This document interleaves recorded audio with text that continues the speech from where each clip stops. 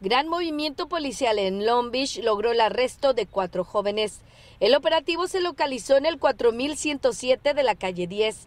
Decenas de uniformados catearon una vivienda. Según autoridades, solo había una orden de arresto desde esta madrugada. Los arrestados fueron esposados y puestos en custodia. El operativo se volvió tenso cuando uno de los sospechosos subió hasta el techo del tercer piso de esta vivienda, armado y amenazando a los oficiales. Finalmente lograron su arresto. Más, más policías en las calles patrullando, más que nada, y más atención para los jóvenes.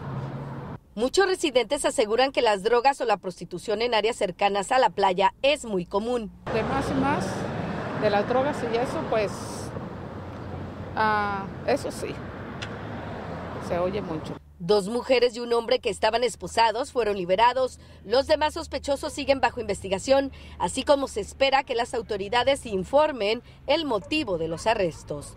Desde Long Beach, Rosa María Orbach, Noticias 62, tu ciudad, tu equipo.